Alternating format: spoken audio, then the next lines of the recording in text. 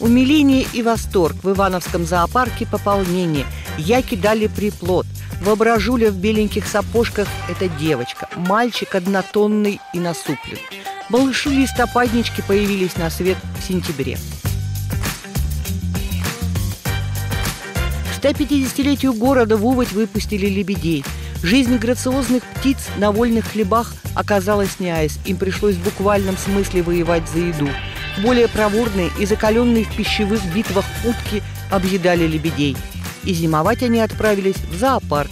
В неволе зато еда гарантирована. Арчи вытянул счастливый билет.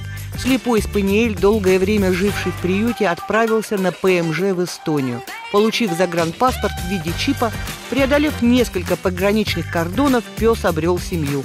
И теперь живет в домике с видом на море.